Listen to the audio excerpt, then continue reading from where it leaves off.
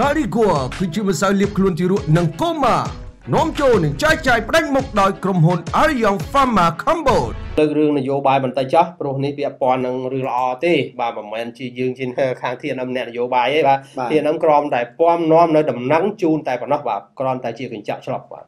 អតីតអ្នកតំណាងរាស្ត្របពប្រឆាំង2នាក់ដែលរងការហាមឃាត់ធ្វើនយោបាយ5ឆ្នាំទទួលបាននីតិសម្បទាឡើងវិញបន្ទាប់ពីបង្ហាញចំហឈប់ប្រឆាំងបាទ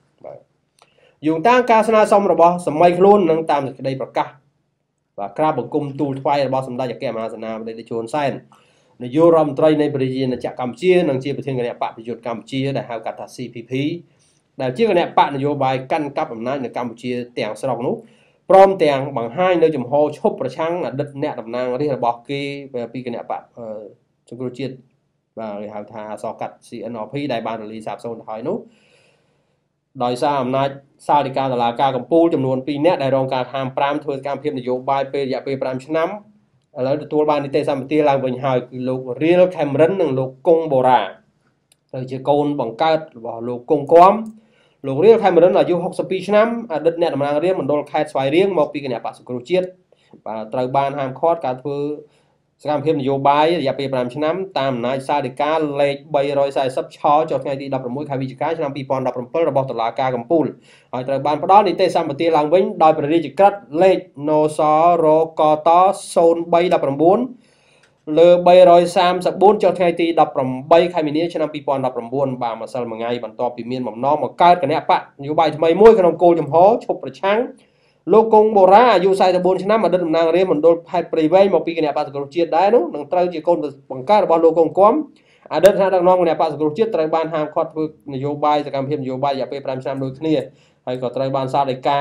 លេខ340ឆចុះថ្ងៃទី16ខែវិច្ឆិកាឆ្នាំ2017របស់តុលាការកំពូលហើយត្រូវបានផ្ដល់នីតិសម្បទាឡើងវិញដោយបរិយាកាសលេខណូសរកត 0119លើ069ចុះថ្ងៃទី15ខែមករាឆ្នាំ2019បន្ទាប់ពីបង្ហាញនៅចំហឈប់ប្រឆាំងហើយស្នើសុំស្ថិតក្នុងក្របខ័ណ្ឌមន្ត្រីរាជការវិញបាទអញ្ចឹងយើងដឹងហើយការលាចេញពី CNRP ដែលបានលាសាបសូន្យទៅហើយនោះឥឡូវមានលោក2នាក់បាទលោក Real Cameron Real Cameron និងលោកកុងបូរ៉ាបាទបានសុំបាទថា ឈប់ប្រឆាំងហើយសុំសិទ្ធបាទធ្វើជាអ្នកនយោបាយស្របច្បាប់វិញបាទបាទ ត្រឹមត្រូវហើយតាមគោលការណ៍របស់ក្រសួងមហាផ្ទៃគឺគឺថាបុគ្គលគ្រប់រូបដែលថាតុលាការកំពូលបានរំសាយនោះគឺអាចមានសិទ្ធិដាក់ពាក្យសុំធ្វើនយោបាយវិញតាមច្បាប់បាទអញ្ចឹងយើងរៀបចំតាមច្បាប់ទៅក្រសួងមហាផ្ទៃនឹងអនុញ្ញាតឲ្យអ្នកទាំងអស់នោះចូលធ្វើនយោបាយវិញអញ្ចឹងទោះបីតែបកកើតគណៈបកស្អីក៏ដោយឲ្យតែសំរុំគឺក្រសួងមហាផ្ទៃអនុញ្ញាតឲ្យទាំងអស់មិនថាអ្នកឯងជាអតីតជាស្អីជាស្អីទេ ឲ្យតែដាក់ពាក្យត្រឹមត្រូវតាមច្បាប់អញ្ចឹងដូចជាលោក Real Cameron ហើយនិងលោកកុងបូរ៉ាគឺគាត់បានដាក់ពាក្យតាមផ្លូវច្បាប់ហើយអញ្ចឹងក្រសួងមហាផ្ទៃអនុញ្ញាតឲ្យគាត់បន្តអាជីពនយោបាយឡើងវិញ